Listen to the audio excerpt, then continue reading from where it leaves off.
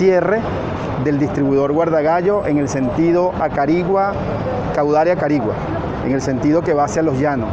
Todo el acceso hacia los llanos desde Barquisimeto está cerrado por el distribuidor Guardagallo, por unos trabajos conjuntos que están haciendo la gobernación del estado Lara y la alcaldía del municipio Iribarren en la rehabilitación y recuperación de una alcantarilla de aguas pluviales de gran diámetro. Y hay que interrumpir la vía, hay que romper la totalidad de la vía para poder colocar las tuberías. Eso nos obliga en aproximadamente 10 días a hacer un cierre.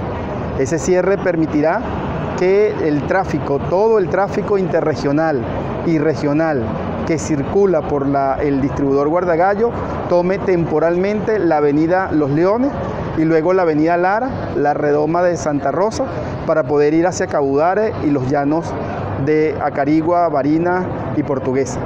Estamos pidiéndole a los conductores especialmente, y que eso quiero pedirle a ustedes, los medios que nos ayuden a difundir, evitar el contraflujo en el distribuidor Guardagallo. Es extremadamente peligroso que estén circulando en contraflujo, en contrasentido. Ese sentido únicamente funcionará para todo el acceso hacia la ciudad de Barquisimeto desde Acarigua y Caudare, porque la, subida de Santa Rosa en sentido Barquisimeto también está cerrada por trabajos del muro de contención que se está haciendo en la ladera norte de la avenida.